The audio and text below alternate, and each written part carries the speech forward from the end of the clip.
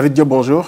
Bonjour, monsieur Cissé. On va quand même la faire, on va la refaire. Je ne sais pas si vous avez compté le nombre de fois qu'on vous l'a fait, de vous présenter à quelqu'un qui dit David Diop, lequel? Ça vous est déjà arrivé, non?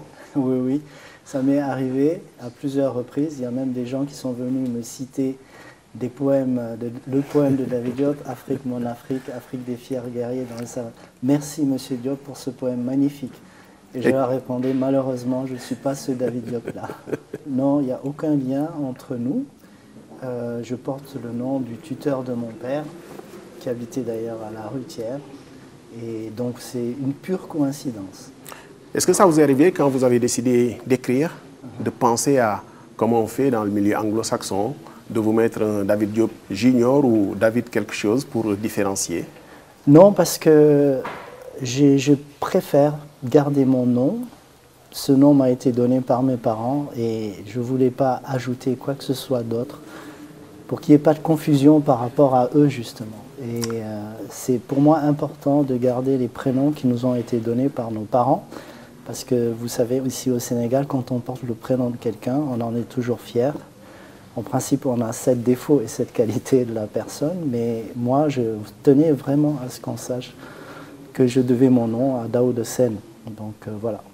Mais vous l'avez parcouru quand même cette histoire de David Diop. On se rappelle de cet accident d'avion en août 1960. Ça peut être dans l'ordre du possible une pérégrination littéraire quand même pour, euh, pour en parler. David Diop qui parle de David Diop, c'est dans l'ordre du possible? C'est possible, mais je ne suis pas assez savant pour en parler. C'est un grand poète de la négritude, David Diop. Et euh, bon, sa poésie m'a ému. Euh, mais je ne serais pas vraiment un, spécialiste de sa poésie et il y en a beaucoup d'autres qui le feraient beaucoup mieux que moi. Hein. David Diop, merci d'être avec nous ici à l'Institut français de Dakar. Vous êtes au Sénégal dans le cadre des ateliers de la pensée. La pensée finalement pas très éloignée des idées.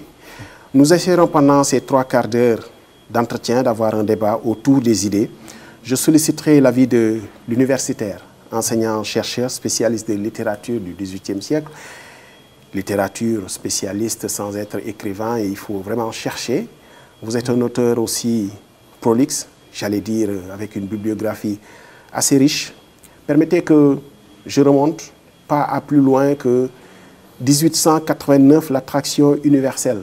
Attention, 1889, pas l'année bien sûr, mais c'est juste un repère pour votre thématique que vous développez. Alors, j'ai lu, j'avoue que j'ai eu le sourire et j'ai eu la surprise de découvrir que finalement, le mirage de l'Eldorado ne date pas que de ces dernières années où, par vagues de migrants qui vont échouer sur les côtes occidentales, on l'a connu bien avant 1889. C'est un autre euh, événement culturellement marquant, mais une élite a aussi lamentablement échoué dans sa conquête de l'Occident. Racontez-nous. Alors, l'histoire de 1889, euh, l'attraction universelle, euh, c'est l'histoire d'une délégation qui part de Saint-Louis et qui va à l'exposition universelle de Paris euh, pour qui fêter le centenaire de la Révolution française.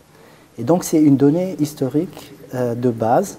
En effet, il y a eu euh, des délégations qui sont parties de toute l'Afrique et qui étaient rémunérées pour montrer aux Français de l'époque, à Paris, euh, les populations de l'Empire colonial français. Et j'ai voulu montrer en fait que euh, ce voyage était fondé sur, dans le fond, un malentendu.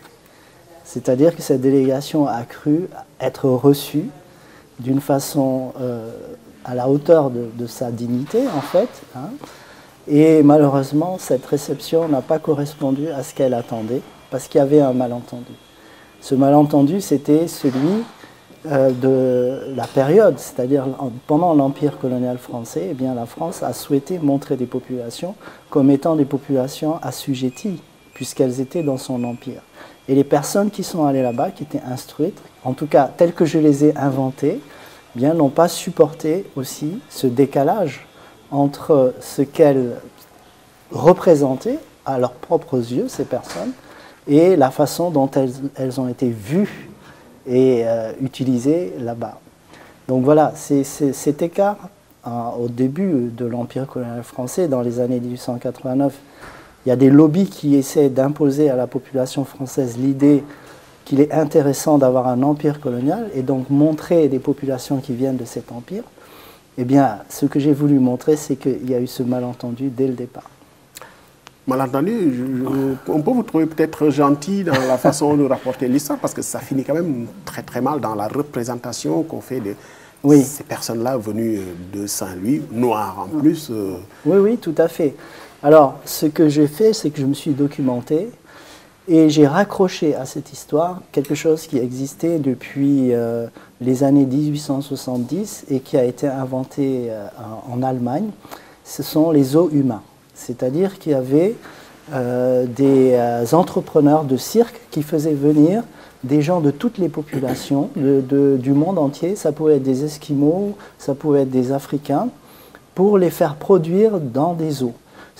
Plus tard, beaucoup plus tard, euh, par exemple, non, plus tôt, pardon, euh, la Vénus Autantote, il y a eu un film voilà, qui, qui a été produite dans un zoo pour, euh, pour être montrée comme un objet, en fait. Donc j'ai raccroché, en fait, cette idée de départ à mon histoire et j'ai voulu montrer, en fait, que ces personnes qui venaient dans leur esprit représenter la ville de Saint-Louis, eh bien, ont été rattachés finalement à, ces, à cette euh, production, à cette euh, assez infamante hein, du zoo humain où on vous met pour vous montrer comme euh, une, sorte de sauvage. Bon. Évidemment, peut-être la comparaison s'arrête là, mais quand vous avez créé la Vénus autant pour accrocher ça à cette histoire-là, on le sait, c'était le symbole de la soumission, de l'acceptation, même de la condition imposée. Mm. Vos personnages ont quand même lutté pour se, pour se défaire de cette situation-là. Exactement, exactement. Il y a un personnage réel, c'est-à-dire qui était à l'exposition universelle et dans mes travaux, il s'appelait Samba Laobetian. Il était bijoutier parce qu'on demandait en fait aux artisans de venir donc euh, à l'exposition universelle et de montrer leur savoir-faire devant les, Français. Ce Samba Laobetian, j'ai appris qu'il avait, il s'était révolté, c'est-à-dire que il avait euh, contesté le paiement qui leur avait été fait, qui ne correspondait pas à ce qui leur avait été dit au départ de Saint-Louis. Je ne l'ai pas mis en scène, lui, ce personnage-là, je ne l'ai pas mis en scène dans le roman, j'ai changé les noms, ce n'est pas lui qui se révolte, mais son, histoire m'a influencé dans la construction de mon récit, et j'ai présenté en effet des Sénégalais qui ont refusé quand ils se sont rendus compte euh, dans quel état on les plaçait, qui ont refusé la situation dans laquelle on la mettait. Mais l'histoire, il y a un personnage historique avéré qui a existé et qui a refusé un état de fait où il avait été trompé. Vous avez 11 personnages, ça tient du symbolique, euh, c'est lié à quoi Non, non, c'est que je voulais euh, intégrer des personnages qui venaient de milieux différents, et puis aussi, je voulais euh, que ce soit, en tout cas à mes yeux, vraisemblable, parce qu'en effet, les promoteurs et les organisateurs de l'exposition enfin, universelle prenaient des corps de métier. Je vous ai parlé de forgerons, ils, ils, souhaitaient aussi qu'il y ait des musiciens qui jouent, qui, viennent.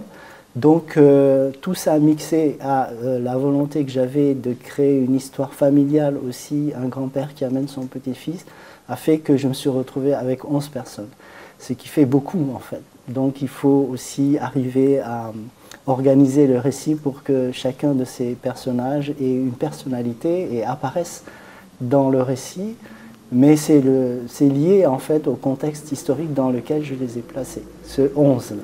Évidemment, 1889, c'est très très loin. Comment ça se fait que le mirage de l'Eldorado persiste encore et qu'on n'arrive pas à déconstruire euh, ce mirage? Ah. Ça, c'est des questions qui sont d'ordre sociologique, des questions qui sont d'ordre économique et politique. Moi, je ne suis qu'un écrivain et je ne peux pas vous dire, euh, répondre très précisément à cette question. Ce que je peux dire, c'est qu'il y a un ordre du monde qui fait que, euh, bon, actuellement, il est vrai, on a des images qui arrivent de l'Occident et qui sont des images extrêmement attrayantes. Et euh, ces images-là, eh bien, emporte finalement euh, euh, la passion, ou en tout cas crée le désir de partir. Euh, alors, j'ai écrit un, article dans le New York Times et qui a été traduit dans le monde sur les migrants et sur notamment la traversée de la Méditerranée centrale et j'ai été extrêmement choqué d'apprendre, par exemple, que par, via la Libye, il y avait entre 2014 et maintenant plus de 20 000 morts. Selon les estimations, il y a 20 000 morts qui sont finalement qui engloutis dans la Méditerranée. Et je disais euh, que eh bien, la Méditerranée, c'est le berceau de la civilisation euh, européenne. Et il ne faudrait pas que ce berceau devienne le tombeau de la civilisation européenne. C'est-à-dire qu'il faut essayer de sauver ces gens. Et sauver ces gens, peut-être, c'est les sauver avant qu'ils partent. J'aurais aimé les faire tous, bien entendu, dans la bibliographie, mais l'incontournable pour David Diop, en tout cas pour ceux qui vous lisent, euh, s'arrêter un peu sur Frère d'âme, euh, très contextuel bien entendu, puisque c'est un ouvrage euh, qui nous relate la période de l'après-guerre, de la Grande Guerre. Aujourd'hui, mm. on est dans une situation où l'humanité est presque confrontée à une situation de, de tension extrême dans une partie du monde qui peut avoir des influences sur l'humanité tout entière. Mm-hmm. Les échos de cette guerre en Ukraine, c'est peut-être quelque chose dont on peut rendre compte d'ailleurs dans, quelques années avec peut-être les mêmes mots de, de, de frères d'âme, les mêmes regrets, le même vécu, les mêmes coups de canot, mhm. le même déchirement. Vous le vivez comment? Euh, quand j'ai écrit Frères d'âme, je me suis documenté sur la Première Guerre mondiale, évidemment, et sur les tirailleurs sénégalais. Et donc je connaissais le nom de toutes les batailles où les tirailleurs sénégalais sont intervenus, euh, le chemin des dames, euh, où il y a eu 30 000, 3 000 morts en une seule journée. Bon, et des milliers de morts parce que les généraux euh, français prenaient des décisions pour gagner 100 mètres de terrain et ils savaient très bien que les troupes ennemies étaient dans une position de hauteur et donc pouvaient mitrailler les gens qui sortaient. Mais tant pis, il fallait avancer. Et toute cette documentation historique, j'ai lu des thèses sur les tirailleurs sénégalais, elle existe, elle est très précise, on sait le nombre de morts, on sait qui était là-bas, quel régiment, quel bataillon, etc. Mais quand j'ai écrit mon roman, je me suis dit, je ne veux pas que ce décor-là apparaisse. Je voulais que les, euh, Ndiaye et Madame Diop soient sur un champ de bataille qui serait comme une sorte de champ de, de mer des batailles, de mer de toutes les batailles. Et pourquoi? Parce que, euh, en fait, quelle que soit la guerre, euh, finalement, les soldats sont dans une situation limite et dans une situation où ils perdent leur repère et dans le fond où ils ne savent plus où ils sont. Et où toutes les causes qui les ont entraînés à faire la guerre, ils les oublient. Parce qu'ils sont dans une situation où ils sont proches de la mort. Et donc, de ce fait, comme je n'ai pas situé les décors, que je n'ai pas placé mes soldats dans une situation précise, eh bien, on peut peut-être, et quand j'ai rencontré des gens, par exemple en Serbie ou dans d'autres pays, on peut peut-être finalement euh, s'identifier à ces personnages, même si ce sont des tirailleurs sénégalais qui ont vécu il y a un siècle ou qui ont été imaginés il y a un siècle. Et on peut euh, finalement euh, investir ce texte des émotions qui sont nées de guerres qui sont absolument différentes et qui sont vécues par des gens ailleurs. Quand on lit l'Iliade d'Homère, eh bien, on est dans une guerre aussi, dans une bataille, et toutes les batailles sont sanglantes, et toutes les batailles finalement euh, reviennent. Moi, je crois que l'humanité est ainsi faite que tant que l'humanité sera là, il y aura toujours des guerres et que, bon, il faut chercher absolument à les éviter, mais qu'il faut avoir conscience que les guerres sont inéluctables. Et cette prise de conscience-là et ce savoir-là, peut-être, est plus bénéfique que le fait de se cacher et de se, de se voiler la face, parce qu'elle nous donne le sentiment qu'il faut lutter pour ne pas faire la guerre. Il faut faire la guerre à la guerre. Porter à l'écran, peut-être que vous y pensez, mais porter à l'écran, c'est sûr que vous aurez mis l'avertissement interdit au moins de 16 ans, parce que c'est assez, assez dur, c'est assez violent. Qu'est-ce qui fait le succès de cet ouvrage auprès d'un public jeune? Je précise quand même un concours des lycéens 2018 qui annonçait 2019 le plus commun, mhm. Global Prize, pour ne citer que ces prix-là. Mais qu'est-ce qui fait que cet ouvrage dure mhm. violent, mais certainement une grande œuvre littéraire, mhm. touche un public jeune? Alors j'ai réfléchi beaucoup à cette question. Euh, je pense que les, jeunes s'identifient au personnage parce qu'il faut savoir en fait que ceux qui font la guerre, ce sont les jeunes. C'est la jeunesse qu'on envoie toujours se faire tuer. Et euh, les lycéens en France, en tout cas, euh, eh bien, ils ont le même âge que ceux qu'on envoyait se faire tuer. Donc il y a peut-être cette question-là qui a joué. Il y a aussi le fait que je n'ai pas écrit, je n'ai pas évoqué la violence pour la violence. C'est-à-dire que ce n'est pas une fin, mais c'est un moyen. Pour moi, c'était un moyen de rendre hommage à ceux qui avaient traversé cet enfer. Il y a un écrivain qui s'appelle Blaise Sandras, qui a écrit un texte magnifique qui s'appelle La main coupée et qui raconte, parce que lui a été soldat pendant la Première Guerre mondiale, il était d'origine suisse et il s'est engagé dans la Légion étrangère aux côtés des Français, qui raconte la, mais la violence de la guerre. Et il dit que la Première Guerre mondiale, c'est une guerre usinière. C'est-à-dire que c'est une guerre où il y avait une pluie de bombes qui tombaient sans cesse. Et ces bombes-là, elles, étaient des bombes, c'était des bombes à fragmentation, donc elles amputaient hein, les bras, les jambes, et elles éventraient. Dans les, abdomens étaient en général éventrés. J'ai voulu montrer, c'est une idée de départ de l'écriture de ce texte-là, que eh bien, toute cette violence-là, euh, c'était une violence qui était le produit de la guerre, et que la guerre était sauvage, et que ce n'étaient pas les soldats qui sont ce ne sont pas les soldats qui sont sauvages, c'est la guerre qui est sauvage. C'est-à-dire le principe même d'être dans une situation où il faut tuer pour survivre. C'est ce principe-là que j'ai voulu montrer en me forgeant un personnage extrêmement violent, très inquiétant, Alpha hein, comme vous l'avez dit, mais qui fait à une échelle humaine, c'est-à-dire très minime, ce que font ces milliers de bombes à fragmentation, c'est-à-dire qu'il éventre et qu'il coupe des mains. Mais je voulais donc montrer que sa violence, qui nous paraît aberrante, qui nous paraît extraordinaire, qui nous paraît exagérée, c'est une violence qui n'est rien par rapport à la violence de la guerre qui a fauché des, centaines de milliers de jeunes gens, des deux côtés d'ailleurs, du côté euh, de la France et des, et des, armées coloniales et du côté allemand, qui les a fauchés et qui a fait ce que lui fait sur huit personnes, l'a fait sur des centaines de milliers de personnes. Donc la question est, qu'est-ce qui est sauvage? Est-ce que c'est la guerre ou est-ce que c'est un tirailleur sénégalais? Qu'on a fait venir là en le présentant justement comme étant un sauvage C'est ça que j'ai voulu euh, interroger en fait. Évidemment, je ne suis pas juste quand je m'arrête euh, à dire que c'est un livre violent, dur, parce que c'est un livre touchant aussi, où il y a la mm. place de Dieu très présent, bien entendu. On a l'impression que quelqu'un va en guerre et pense que Dieu, tout seul, va le sauver de cette situation-là. Mm. Dieu va sauver l'humanité. Est-ce que c'est lié au syncrétisme peut-être africain mm. C'est lié à quoi dans cette euh, situation de tension extrême qu'on évoque Dieu, Dieu, Dieu, Dieu pour sauver l'humanité?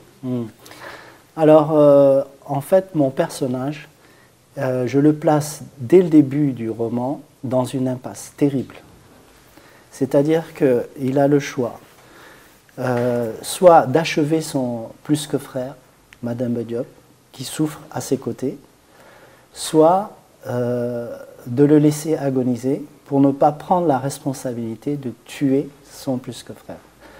C'est une situation impossible. J'espère que personne, en tout cas pas moi, je, me retrouverai un jour dans cette situation-là.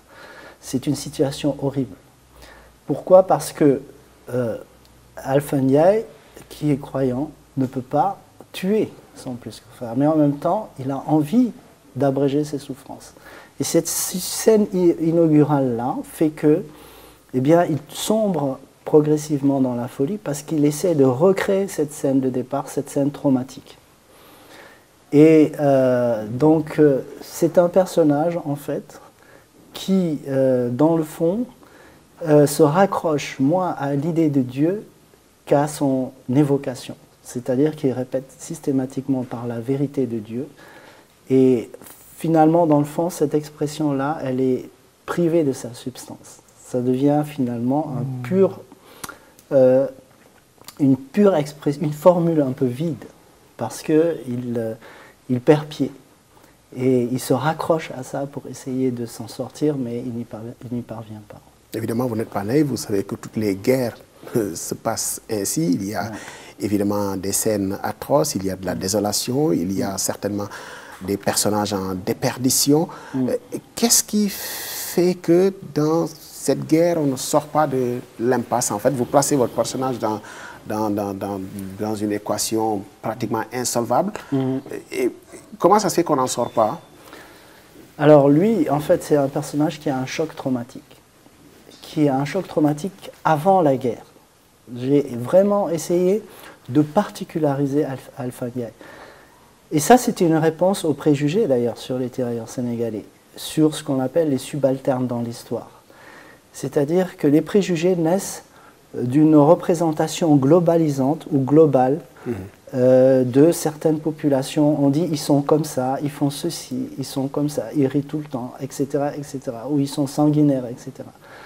À partir du moment où vous voulez dépasser un préjugé à mon avis, et ça c'est la puissance de la littérature, il faut mettre en scène un individu avec une histoire, avec euh, des faiblesses, des forces, mais particularisantes.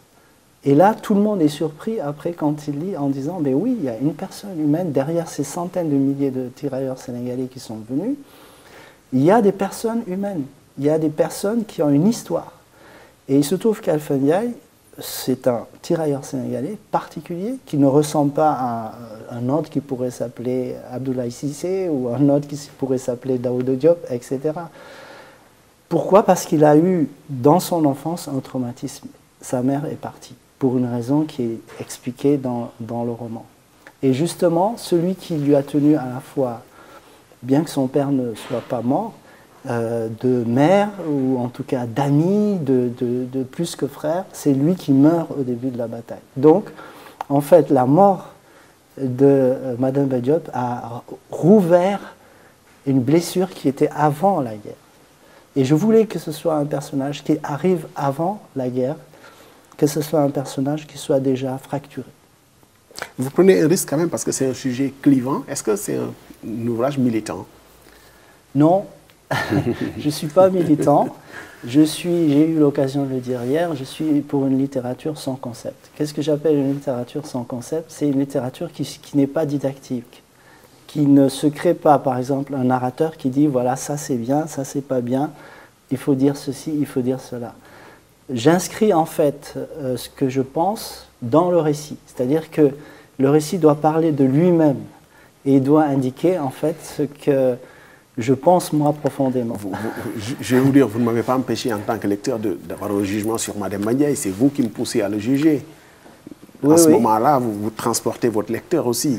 Oui, oui, je, je, je, vous invite, si vous voulez, à le considérer, mais c'est ça, c'est que vous vous attachez à lui, bien que ce soit un personnage quand même très complexe et qui agit d'une façon assez horrible. Euh, mais aussi, c'est vrai, quand je mets en contexte mes personnages, je les mets en contexte. Là, il s'agissait de la Première Guerre mondiale, à une époque où la France avait un empire colonial et où on traitait d'une certaine façon euh, les troupes, euh, notamment les généraux, hein, euh, pas les soldats poilus qui étaient côte à côte et qui combattaient avec, à, côté des tirailleurs sénégalais. Et là, évidemment, si je veux être fidèle au contexte, je parle d'une forme de racisme, en effet. Je parle, si vous voulez, aussi euh, de, du traitement qui a pu être fait euh, et de la façon dont certains ont pu être dévalorisés. Mais je ne sais pas le but. Je mets en contexte, et finalement, après, ça a peut-être une dimension historique. Moi, ce que je veux, c'est, je l'ai déjà dit, que la littérature émeuve et qu'ensuite le lecteur aille voir l'histoire. La littérature émeut et l'histoire explique. Vous savez, aujourd'hui, il y a des grandes histoires que l'humanité n'a pas encore soldées. La France elle-même, dans son histoire, n'a pas encore soldé beaucoup de choses, que ce soit avec euh, la Grande Guerre, les tirailleurs, que ce soit dans son rapport à l'Algérie, qui est encore très contextuel, parce que présent dans cette campagne électorale, de, campagne électorale présidentielle en France. Mhm. Est-ce que, je reformule la question parce qu'on n'est pas encore sur la même réponse. Est-ce que mhm. vous prenez un risque en abordant ces thématiques-là dans votre littérature? Des thématiques qui sont un peu clivantes, quand même, il faut le dire. Mhm. Ah non, moi, je ne prends pas de risque parce que, voilà, j'ai écrit ce qui me plaît, ce que j'ai envie de dire. Et euh, ce qui m'encourage aussi, c'est que le lectorat français de, eh bien, et s'intéresse à ces choses-là. il y a plein de gens en France qui me disent, mais on ne connaissait pas. Euh, donc, ils ont été émus par euh, le personnage ou les personnages que je fais apparaître. Et à partir de là, ils font un retour sur l'histoire. Donc, non, moi, je, je, ne crains rien. au contraire, euh, je, trouve intéressant finalement jusqu'à présent, ça ne veut pas dire que ça va continuer, de situer les histoires dans une période coloniale, dans un, empire colonial français qui avait des relations assez particulières avec les, tirailleurs.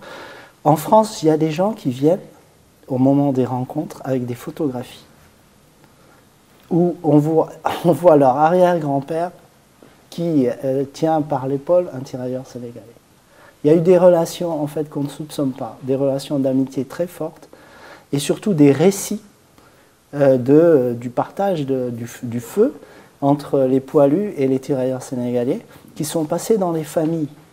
Et vous avez des gens qui conservent cette mémoire-là. Juste après la Première Guerre et la Deuxième Guerre mondiale, dans la population française, il y avait euh, un infini respect pour les tirailleurs sénégalais. Ce qui s'est passé, c'est que la politique a euh, créé, si vous voulez, quelques injustices et qui ont créé aussi du ressentiment chez les tirailleurs sénégalais. Mais si vous regardez, si vous écoutez les tirailleurs sénégalais, ils vous diront toujours qu'ils ont été très bien reçus par les populations. Donc euh, il faut nuancer. C'est-à-dire que la France, c'est la France, son gouvernement, c'est son gouvernement.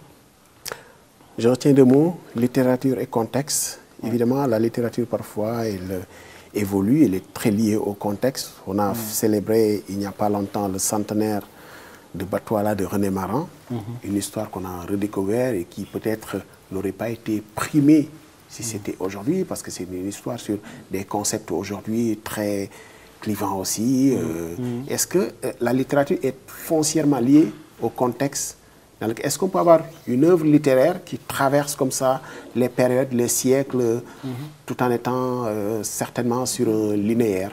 Mhm. Alors moi, je, je, place mes personnages dans un contexte particulier, mais euh, en fait, même si ce contexte est lointain, le simple fait de raconter l'histoire aujourd'hui actualise. C'est-à-dire qu'il y a toujours un, un lien, finalement, avec l'actualité de l'écrivain et ses préoccupations, donc, euh, euh, dans le fond, euh, la littérature, dans le fond, elle, toujours elle s'inscrit toujours dans un contexte. Mais ce qu'il y a, c'est que la littérature met en scène des sentiments universels qu'on connaît tous, ce que les classiques du XVIIe siècle en France appelaient l'éternel humain eh bien, euh, cet éternel humain dépasse les contextes aussi. C'est pour ça que vous pouvez écrire une histoire sur un terrien sénégalais euh, qui euh, est situé au début du XXe siècle et avoir des lecteurs chinois qui peut-être vont être touchés, même s'ils ne connaissent pas le contexte historique, par une histoire d'amitié, une histoire d'amour, une histoire de vie, une histoire de mort. Et quand vous faites votre littérature sur un thème de la guerre, est-ce que vous faites une œuvre historique dans le sens où vous vous rapprochez le plus possible des archives ou pas Alors, je me, je me documente très précisément. Mais comme je vous ai dit, par exemple, pour Frère Dame, euh, ce que j'essaie, c'est d'oublier la documentation. C'est-à-dire que je fais ce que ne devrait jamais faire un, un professeur à l'université, c'est lire un livre sans prendre de notes. Je ne prends pas de notes. Quand hmm. j'ai envie d'écrire un texte de fiction, je fais confiance à ma mémoire affective. C'est-à-dire que je ne retiens, en fait, euh, finalement, je ne ressortira au moment où j'écris que ce qui m'aura touché dans tout ce que j'aurais lu et appris. Et par exemple, pour vous donner un exemple, j'ai appris en lisant des historiens que l'armée française avait souhaité mettre dans l'équipement des tirailleurs sénégalais un coupe-coupe. si vous allez au musée des Invalides, au musée de, la guerre aux Invalides, vous verrez des uniformes de tirailleurs sénégalais où il y a un coupe-coupe dans son étui. Et ça, je l'ai lu chez un historien qui s'appelle Marc Michel, qui a écrit sur les tirailleurs sénégalais. Je ne l'ai pas noté, mais tout de suite, je me suis dit, ça, c'est quelque chose qui, va avoir une importance dans mon, dans mon roman. Parce que c'est finalement l'indice que l'armée française, en tout cas ce qu'il a dirigé, voulait créer la peur chez l'ennemi en jouant sur un préjugé, celui de la sauvagerie. Pourquoi mettre un coucou alors que sur les fusils, vous aviez euh, une baïonnette et que cette baïonnette d'ailleurs avait un surnom chez tous euh, les tirailleurs, mais aussi chez les poilus, c'était Rosalie. La baïonnette, on l'appelait la Rosalie. C'était justement pour faire peur aux ennemis. Donc euh, ça a été terrible parce que les Allemands, qui ont eu beaucoup, très peur des tirailleurs sénégalais, eh bien, en 40, quand ils sont revenus et qu'ils ont finalement envahi la France en juin 40, eh bien, ils exécutaient sur les bords de route, sans autre forme de procès, ils exécutaient les tirailleurs sénégalais. C'était le souvenir, en fait, de la représentation de la violence et de la sauvagerie qui avait été inscrite dans, dans l'uniforme des tirailleurs sénégalais par l'armée française qui a finalement entraîné cela. Bon, c'est vrai aussi que l'armée française a souhaité que l'occupation de la Rhénanie soit faite par des tirailleurs sénégalais pour humilier les Allemands qui, eux, ont considéré, et d'ailleurs, ils ont envoyé des délégations, en 1916, ils ont envoyé une délégation à l'Assemblée nationale française pour dire que ça devait rester une guerre entre blancs. Et que euh, les Français, en faisant venir les tirailleurs sénégalais, ont inscrit ont importé de la barbarie et de la sauvagerie en Europe. Et ils ont envoyé une délégation pour protester officiellement en 1916. Donc tout ça, en fait, tout ce matériau historique, je l'ai là. Il est à l'arrière-plan, en fait, euh, du roman. Et finalement, je retiens ce qui, dans le fond, va créer, me permet de créer des situations, des scènes, des bouts de récits et qui auront été, si vous voulez, euh, inspirés par ce que j'ai lu chez les historiens. Je ne voudrais pas que le littéraire, euh, l'amoureux des lettres, le littéraire se dérobe. Je vais interroger surtout l'enseignant-chercheur, l'universitaire.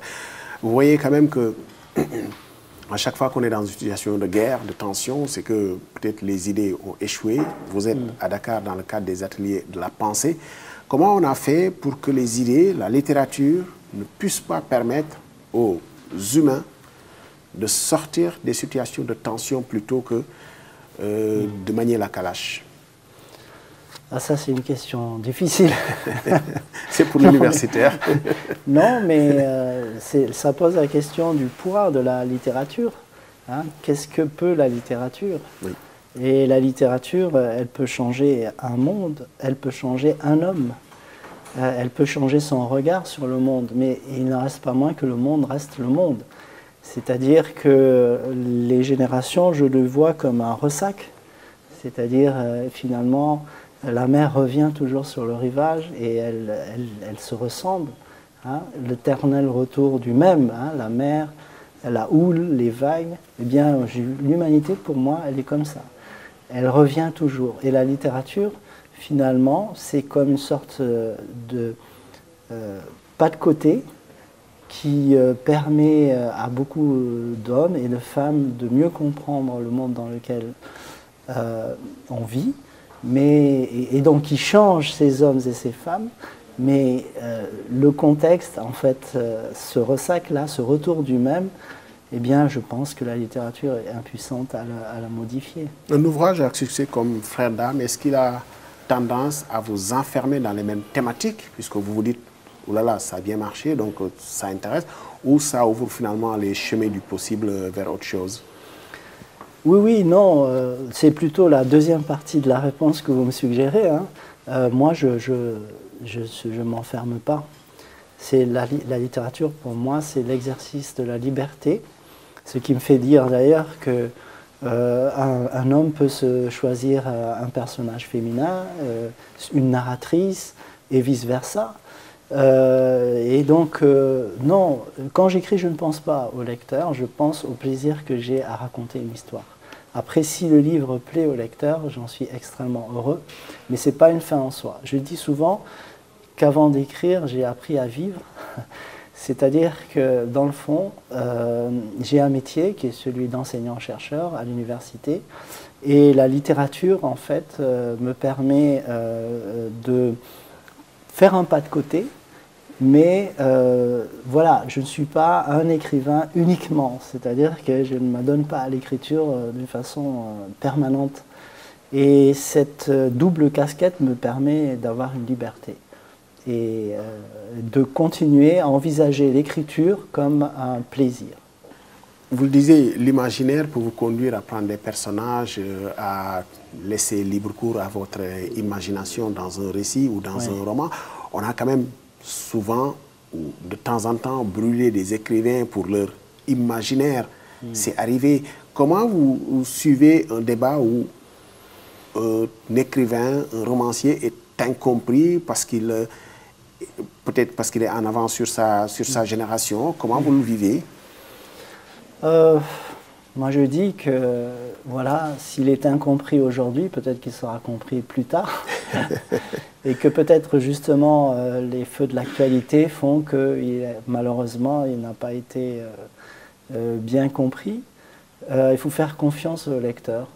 Et généralement, ceux qui décrit quelqu'un, ceux qui décrit un écrivain, ceux qui le stigmatisent, euh, ceux qui veulent le brûler, lui et son livre, en fait, ce sont des gens qui n'ont pas lu ce livre, qu'ils condamnent. Donc, euh, moi, je dis qu'il faut faire confiance au, lecteur et, euh, et, laisser retomber la poussière pour voir plus clair.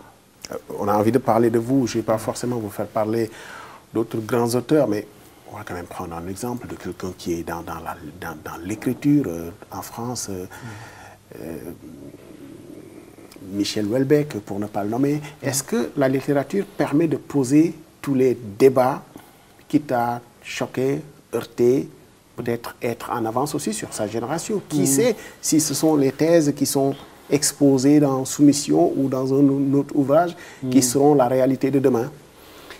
Euh, oui, euh, alors il y a quelqu'un qui disait que eh bien, la littérature, euh, il n'y a pas nécessairement de bons sentiments qui doit nécessairement s'y lire. Oui, c'est vrai que la littérature peut poser des débats, des questions, des questions, aborder des questions sous un angle particulier, sous un angle qui peut choquer, mais justement qui euh, permet peut-être au lecteur de faire un retour sur lui-même, de remettre en question ce qu'il considérait comme des évidences euh, et finalement le faire euh, évoluer. Donc oui, la littérature a le droit d'être insolente. Quand vous êtes Goncourt des lycéens en 2018, est-ce que ça vous ouvre, ça vous promet au, au Graal, au Goncourt comment, comment on le vit en fait? Oh, moi, je reçois chaque euh, distinction avec beaucoup d'honneur et de plaisir. Je rappelle aussi quand même que j'ai eu le prix Kuruma. Tout à fait, que j'ai rappelé tout à l'heure en 2019. Voilà, Et euh, donc, euh, tous les prix que je et le reçois... Prize la même année aussi. Voilà. Et ce ne sont pas les seuls d'ailleurs. Et, donc, ce sont chaque fois des prix qui me touchent pour une raison ou une autre. Le concours des lycéens, c'est parce que je suis enseignant. Et j'ai l'habitude de rencontrer euh, la jeunesse, donc ça, ça m'a touché parce que je sais qu'ils sont extrêmement francs dans leur goût, intransigeants, clairs. Donc ça, ça m'a vraiment plu. Et le prix Kourouma, parce que j'éprouve une grande admiration pour Amadou Kourouma, euh, qui euh, m'a aidé à trouver une technique dans Frères d'âme pour laisser penser au lecteur francophone que mon personnage d'Alpha Ndiaye pensait en Wolof et ne pensait pas en français. Et c'est Amadou Kourouma, dans ses romans, manie la langue française de telle sorte qu'on comprenne bien que derrière cette langue française, il y a une autre langue, et une langue africaine. Donc je me suis inspiré d'un certain nombre de ces techniques pour euh, finalement euh, laisser penser au lecteur que mon personnage pensait dans une autre langue, en jouant sur le rythme du français notamment et en faisant des répétitions de cette phrase que vous avez citée tout à l'heure, par la vérité de Dieu. C'était aussi pour euh, retrouver un rythme d'une langue qui est le Wolof. Donc euh, chaque prix a son prix. Et chaque fois, je, en recevant le prix, je pense au prix que je reçois et je ne pense pas à un prix qui pourrait m'être décerné plus tard. Et c'est une richesse culturelle finalement de baigner euh, dans plusieurs cultures comme ça? Oui, bon, j'ai, je l'ai dit, euh, j'ai deux sensibilités culturelles, une sensibilité culturelle française et une sensibilité culturelle sénégalaise. Quand je dis sensibilité culturelle, je ne prétends pas dire culture. Parce que euh, euh, chacun de nous, quand nous vivons dans une société, dans une culture, nous y prenons en fait des choses qui nous appartiennent, qui sont liées à notre histoire, qui sont liées à la façon dont nos parents nous ont éduqués, qui sont liées à beaucoup de choses.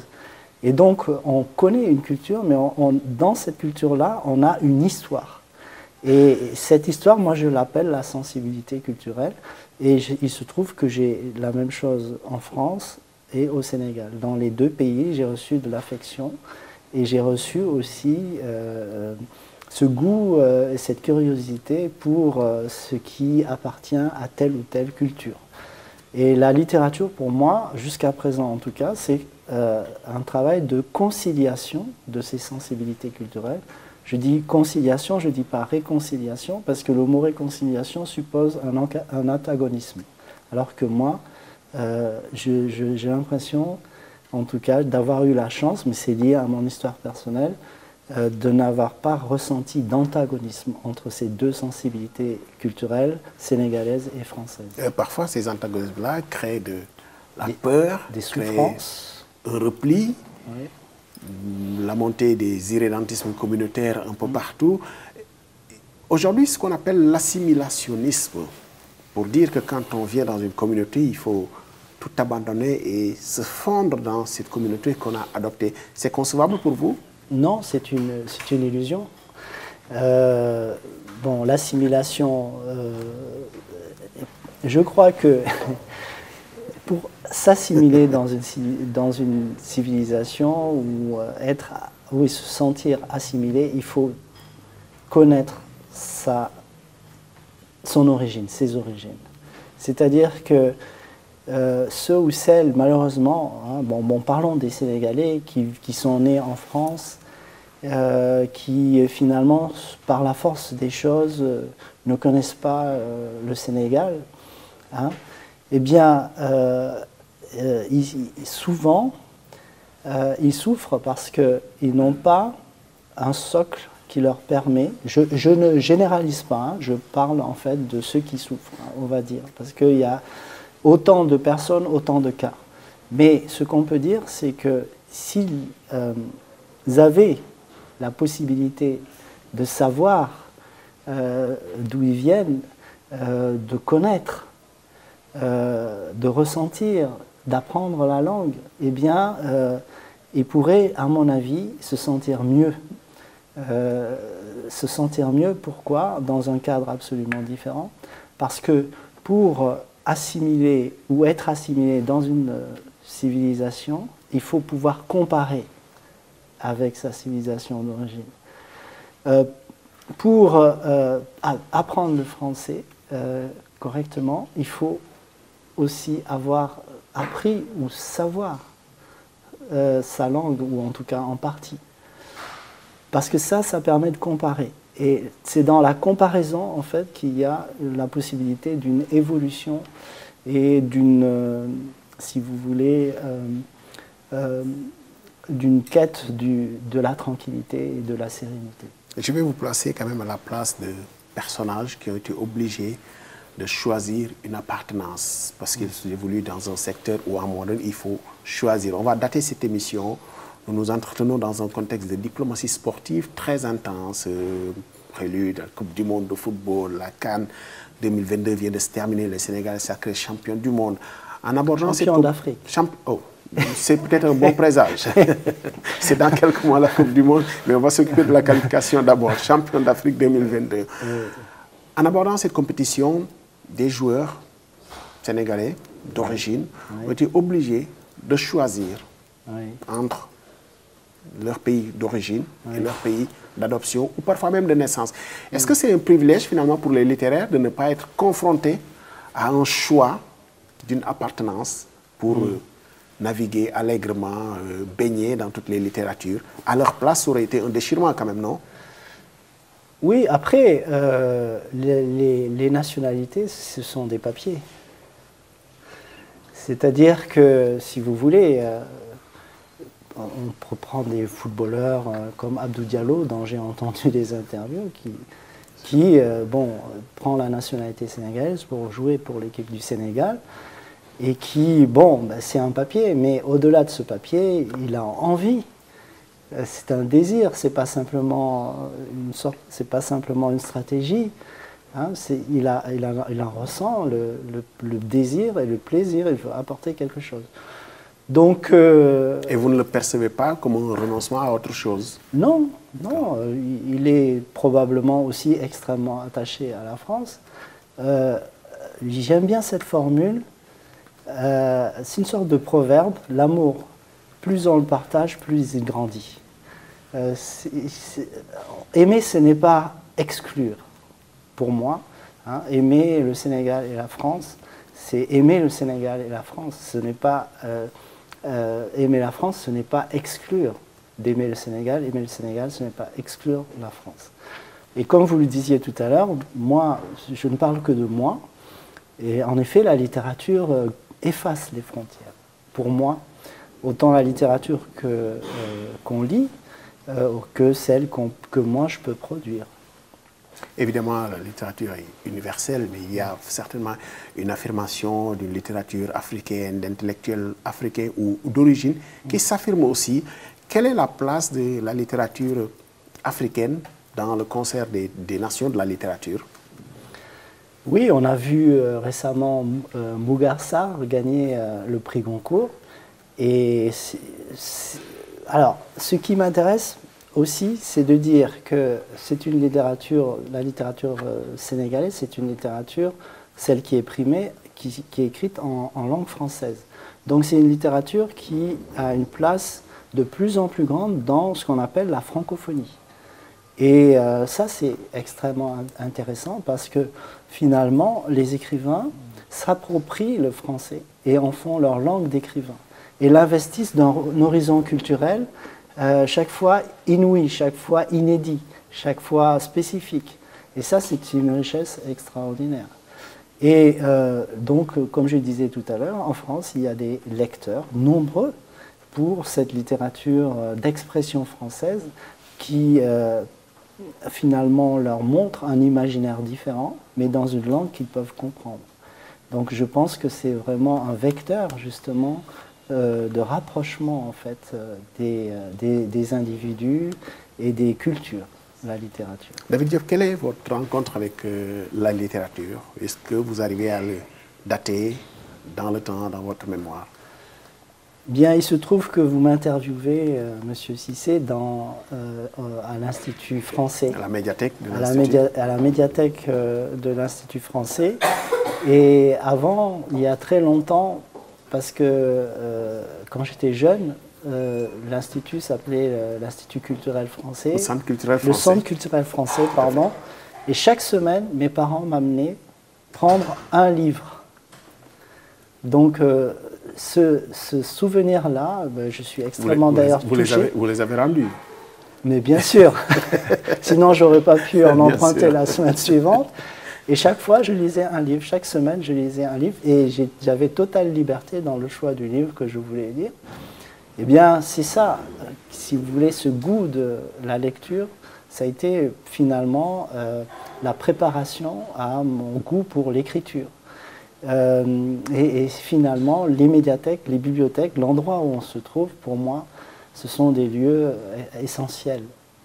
Évidemment, on va évoquer les ateliers de la pensée qui vous mènent à Dakar dans cette période avec beaucoup d'intellectuels africains ou d'origine africaine. Mhm. Quel peut être le sens d'être dans une situation où on discute des idées, on remet la pensée, on remet les idées au centre mhm. du débat public sur des questions très contextuelles aussi et très prospectives? Alors, c'était la première fois que j'ai eu la chance d'être invité par euh, Fel Winsar et Achille Mbembe aux ateliers de la pensée. Et euh, ça a été un moment extrêmement fort parce que j'ai pu rencontrer au fil des, des tables rondes, mais en même temps aussi après les tables rondes, des artistes africains, pas simplement des écrivains, mais des gens qui venaient du Rwanda, du Burundi, hein, du Cameroun, euh, du Burkina Faso et euh, c'est euh, vraiment un bouillonnement intellectuel. Et un bouillonnement intellectuel qui contrairement à ce qui est généralement le cas eh bien vient de l'Afrique. C'est une ce qui est extraordinaire c'est que cette rencontre là eh bien elle a été initiée suscitée et organisée euh, en Afrique et que des gens qui s'intéressent à l'Afrique viennent en Afrique pour en parler, eh bien souvent ils ont dit qu'ils en étaient extrêmement touchés, d'où qu'ils viennent. Euh, et c'était extrêmement intéressant euh, de voir cette animation intellectuelle. ici, c'était au musée des civilisations noires à Dakar, extraordinaire. Globalement, les thématiques tournent autour de reconstruire un monde meilleur. Euh, ce qui rejoint aussi l'initiative du Quai d'Orsay, notamment la Nuit des idées, où dans tous les centres culturels français mhm. du monde, il y a une grande nuit où on discute des idées. Cette mhm. année, le thème central, c'était co-construire. Comment construire ensemble? Mhm. Quand on a les peurs qui nous éloignent les uns des autres, quand on a les irrédentismes peut-être qui éloignent les communautés les unes des autres, quand on a aussi les différences culturelles parfois qui devaient relier les communautés, mais qui finalement les éloignent. Comment co-construire ensemble? Alors là aussi, hein, monsieur, si vos questions sont compliquées, mais je vais m'en tirer en disant que ces co-constructions, elles se font par euh, le dialogue, l'échange intellectuel, dans son sens le plus noble, c'est-à-dire que l'échange, euh, il est intéressant qu'à partir du moment où on s'écoute vraiment. Et euh, les initiatives dont vous parlez sont euh, extrêmement intéressantes parce que avant de parler, on écoute. Et ce genre de réunions, ce genre de rencontres aiguisent la sensibilité, aiguisent la capacité d'écoute et c'est de cette capacité-là que peut absolument euh, naître euh, des choses euh, positives. Hein. Donc voilà, c'est ce que je dirais. Et j'ajouterais que hum, la littérature également a son rôle à jouer. là, vous parlez d'échange, mais la littérature, c'est finalement un dialogue silencieux avec le lecteur. Et la littérature, justement, je pense, peut arriver à trouver euh, des lecteurs qui se réunissent autour d'idées et qui finalement euh, se comprennent autour. Ça faisait un petit moment, vous n'étiez pas revenu en tant qu'université, en tant qu'intellectuel, en tant qu'écrivain. Ça doit être quand même un bon sentiment agréable de faire ça comble quand même dans, de grandes conférences où quand même euh, le public est attentif à ce que vous dites. Jeanne d'Arc, ça vous a évoqué quoi de passer avec les élèves? C'était un bon moment? Oui, il se trouve que j'ai été interviewé par Madame Fatima Taba, qui me disait que dans la salle où nous trouvions, elle avait passé son bac. Euh, et il se trouve que, mais moi, beaucoup plus longtemps qu'elle, j'ai passé aussi une épreuve de mon bac dans la même salle où se trouvaient réunis les lycéens. Donc vous, imaginez l'émotion qu'on a eue, elle et moi, à se retrouver là. D'autant plus qu'il y avait des élèves des maristes et moi j'étais très longtemps élève des maristes aussi. Donc euh, euh, c'est euh, des rencontres qui, touchent vraiment, qui sont affectives si vous voulez, qui vraiment me font être bien comme vous le dites et puis être heureux de partager le contenu de mes livres avec euh, des jeunes gens. Et dans ces jeunes gens, je me revois il y a 30 ou 40 ans. Et c'est assez euh, émouvant. J'espère ne pas trahir Madame Ba, mais elle, a peut-être dû vous confier qu'elle était grande fan de Frères d'âme, euh, voilà, qu'elle a, qu'elle a évoqué publiquement et qu'elle a lu et qu'elle a... on aurait aimé l'avoir pour être critique littéraire, bien entendu, pour... Mm soulever peut-être les petites virgules, euh, les petites, les petites euh, pas de coquilles, mais bien. Quand on écrit, on, fait attention aussi au style, euh, on fait aussi. oui. C'est ça qui fait la littérature quand même. Oui. pour l'apport du voyage sans retour, j'ai procédé différemment. j'ai en fait, avant de commencer à écrire, je réfléchis au sujet qui m'intéresse longtemps à l'avance. J'ai l'impression qu'une image pourrait expliquer ce que, ma façon de faire. J'ai l'impression que ce que je veux écrire est un fruit qui se trouve sur un arbre et je tourne autour de l'arbre pendant plusieurs mois, pendant plusieurs années. Quand une idée me vient, je la note. Et au bout d'un moment, le fruit tombe. Et pour moi, c'est le moment du début de l'écriture.